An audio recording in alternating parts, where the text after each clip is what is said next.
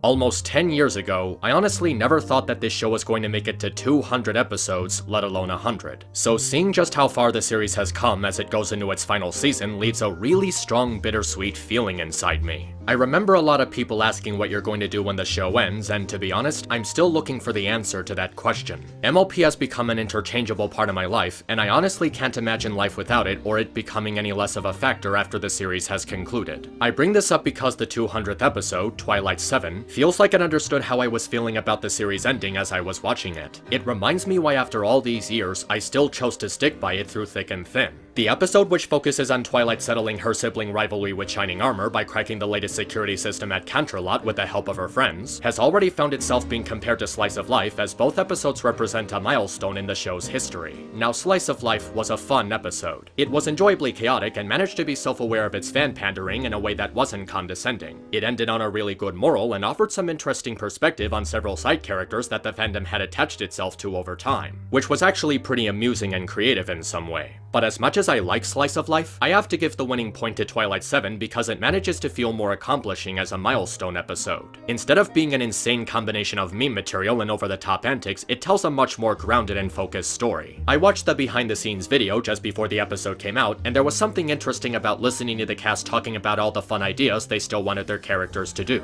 Rarity and Dash working as detectives, Pinkie doing space travel, Zephyr Breeze as a royal guard, Applejack as a country western singer, Fluttershy as a spy, and doing an episode about pulling off a heist. I also caught a glimpse of a tweet made by Big Jim about how this 200th episode is a love letter to the five main actresses who carried us through this journey. They took ideas from each of them, narrowed them down to the ones they liked most, and incorporated them into one plotline. And I gotta say that looking at some of the background of this episode, even just a little bit, gives me a pretty good idea as to what it's really all about. One thing that absolutely makes the episode work is its structure. Everything from the pacing to the setup to the way the episode handles its several subplots in a cohesive way, it's a solid episode from beginning to end. None of it feels out of place and everything comes together in a way that's so clever and brilliantly thought out. Which is impressive considering the episode was done by the actors instead of the actual writers. To take all these crazy ideas that the actors just came up with and fitting it into a heist episode in a way that makes sense couldn't have been easy, but they really managed to pull it off. The characters are also given good writing and interesting methods of working off each other. The chemistry between each pairing that we get in this episode demonstrates some really witty dialogue that handles their dynamics in a fun way. And the episode places them into so many fun situations that we really haven't seen before, like Dash being out of her element to distract Zephyr, which really indicates just how loyal she is to Twilight, or Fluttershy and Spike having a moment where they relate to each other through sibling drama. Even Pinkie imagining herself traveling through space is a fun idea that's visualized in a creative way. The rivalry between Twilight and Shining is fun too, as we get some really good snarky sarcasm from their exchanges. It's also great to see how the episode focuses on Celestia's and Luna's sibling rivalry in a more humorous way. I really love the idea that they still have a rivalry even after all these seasons. It's a complex shaded relationship that's good to have in a kid's show, and the episode is able to faithfully feature those kinds of sometimes strained and competitive relationships you have with your family. It's a brilliant dynamic to see in these two, and it feels like an excellent successor to their bickering in Slice of Life. The episode has a bunch of callbacks and references, but unlike Slice of Life where it was part of crazy fan service, they actually help the story progress and they're worked into the narrative in a logical way. The Screeching Geese, for example, are a reference to the Battle of Allia, where the Gauls try to invade Rome but were foiled because Juno's sacred geese hurt them and screeched so much that they woke up the Roman guards. No, seriously, this actually happened. It's honestly quite brilliant how they managed to take a weird moment from actual history and fit it into the episode as a natural plot element. It's even a nice detail to see how worn out the crown is after 20 years since it was made out of tin foil, and in spite of being worn out, the crown never lost its sentimental value. It still acts as a nice symbol for Twilight's relationship with Shining, caring and sweet, but also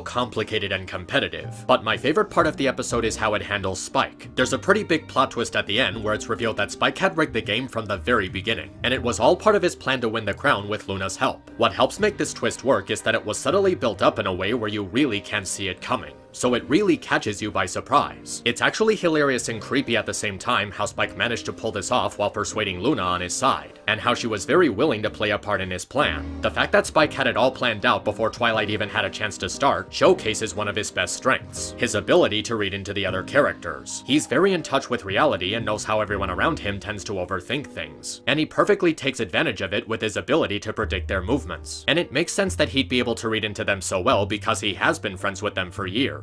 The other characters usually underestimate him, but he takes that attitude and twists it into their own weaknesses. He can read Luna's annoyance with Celestia and uses that to persuade her into a plan to one-up her, and it's done in a way that no one would suspect. And it's a sensible idea as it encourages Celestia to double-check the castle security. Seeing him come out on top and playing everyone else is a brilliant comeback for his character, and a far cry from the earlier seasons when he was treated as a butt monkey. But what happens after really cements the emotional value of the episode. It ends with Twilight and Shining acknowledging Spike as a younger brother they always had, and it's another plot point that was also subtly built up. In the beginning, we see a couple of flashbacks laying out the sibling rivalry between Twilight and Shining explaining the sibling supreme competition. And during the flashback, we see Spike witnessing the sibling rivalry while growing up alongside them, and he expresses a desire to be part of the competition. Not because of any shiny prize, but because he wanted to feel accepted as part of the family. On some level, this is a sad implication of Spike's upbringing, where he always thought of himself as a sibling, but he was never treated as such. But seeing how he stayed loyal to them and wanted to be their brother even from such a young age is really touching, and it puts his earlier years into a very interesting new perspective. It gives the idea that Spike always thought of himself as part of the family, which helps establish the brother-sister relationship between him and Twilight. And it also helps explain why he would feel left out in things that she would be doing without him. However, what really makes this ending so heartwarming and satisfying is how it subtly pulls off the real plot twist. The main character of the episode wasn't Twilight, it was Spike himself. The episode is centered around his plan to win the crown, his feelings of being thought of as Twilight's little brother, and in the end, he wins that acknowledgement through his strong loyalty and wit. For a very long time, people thought of Spike as a secondary character instead of part of the main cast. But after this episode, there is no denying the legitimacy of Spike as one of the main characters of the series. He is the seventh member of the main seven. The title of the episode even acknowledges this with it being called Twilight 7. Spike has been given so much more respect and proper development as the show got into its later seasons. But this was the episode that truly gave Spike his mantle and allowed him to rise above the rest of the cast. Over the course of eight seasons, he went from a silly absent-minded child to a smart, confident, thoughtful, and strong-willed young adult. This feels like the ultimate culmination of his character arc, like everything he's ever been through was leading up to this point. He's finally seen as a main character and as a member of Twilight's family, and it's just so touching to see him come out on top like this. This is what makes Twilight 7 so much better than Slice of Life. Instead of concerning itself with memes and acknowledging the fandom, it takes itself much more seriously and puts together an actual story. And even then, it still gets to be a silly idea that was made up by the actors. Jim stated that episode 200 would be a thank you to the five main actresses, and it really feels like they accomplished that. They even got the credits for the story, so it really feels like it was their story all along. The background of the episode is about all these ideas they had for these characters, and they managed to pull it off in a quality way. Something that we tend to forget while watching shows like this is that the voice actors grow alongside these characters just as much as we do. So with this being one of the final episodes, it makes sense for them to have a shot at writing for them. Throughout the years, these actresses grew up with these characters just as much as we have, and they wanted to give them the chance to do all these fun things before it all ends. This episode was a milestone not just for the show and the fandom, but for the actresses as well. It really does feel like a love letter to them, giving their characters proper justice and so many fun things to do. It would have been really easy to just make another slice of life with unapologetic fan service, but they decided to do something different and less predictable, and what we got is arguably one of the best episodes in the entire series. Excellent writing for secondary characters, good humor, callbacks that help develop the story, and that really satisfying ending for Spike's character arc. A lot of people have come, and a lot of people have gone, and a lot of people rage quit the show for stupid reasons. But to know that I still chose to stay and got to see just how far the characters have come over the years really speaks to me. I don't know what's going to happen when it all ends, but I do know that it's been a really fun ride. Twilight 7, the 200th episode, was such a great episode for the way it handles its story with tact and grace, and how it successfully acknowledges just how far the series has come, and how much it's accomplished. It's a celebration of how MLP has grown over the years and the impact that it's made on popular culture. It's an episode that does everything right, and continues to show that they're really making a comeback after season 8. Let's hope that for the rest of the show, it certainly stays that way.